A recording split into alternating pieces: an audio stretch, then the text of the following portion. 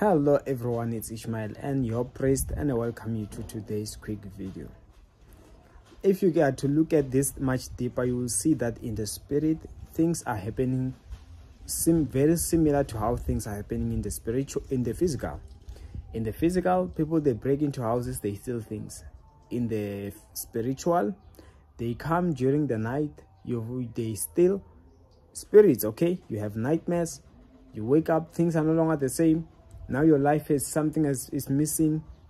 They stole they came into your house they broke in. Which if they were to do it in the physical they were supposed to even get arrested.